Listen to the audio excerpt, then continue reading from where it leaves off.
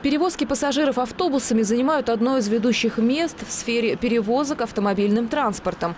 Ежегодно их доля увеличивается. Тяжесть последствий при дорожно-транспортных происшествиях с автобусами особенно высока, что ставит работу по обеспечению безопасности таких перевозок в ряд приоритетных. С 8 августа по 1 сентября на территории Московской области проводится оперативно-профилактическое мероприятие «Автобус» под названия.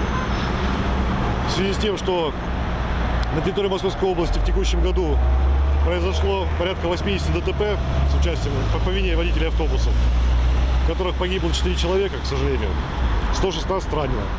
Статистика показывает, что основными причинами дорожно-транспортных происшествий с участием автобусов являются грубые нарушения водителями правил дорожного движения, несоблюдение норм труда и отдыха и незнание правил техники безопасности. А как вы будете использовать огнетушитель? Как его оторвать отсюда? Ну, надо посильнее вперед толкнуть.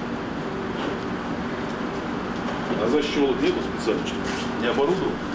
При проведении мероприятия особое внимание уделяется это техническому состоянию автобусов, э, соблюдению режима труда и отдыха водителями, также соблюдение п- п- правил перевозки детей, правил перевозки пассажиров в междугороднем сообщении особенно. Сотрудники госавтоинспекции уделяют повышенное внимание этой проблеме. В текущем году пресечено порядка 35 тысяч нарушений правил дорожного движения, совершенных водителями автобусов. В том числе более 10 тысяч фактов превышения установленной скорости и 198 нарушений, связанных с выездом на полосу встречного движения.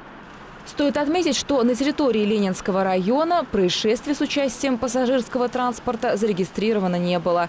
Наталья Буслаева, Евгений Петров, Елена Кошелева, Видное ТВ.